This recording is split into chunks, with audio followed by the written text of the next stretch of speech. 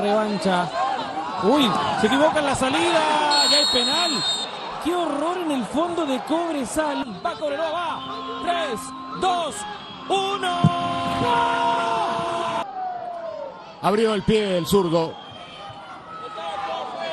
A la derecha decía que lo había pateado ante Santiago Morning. A la derecha lo vuelve a patear el zurdo. Y a la izquierda también fue Santander para estirar una diferencia y ponerle el 3 a 1.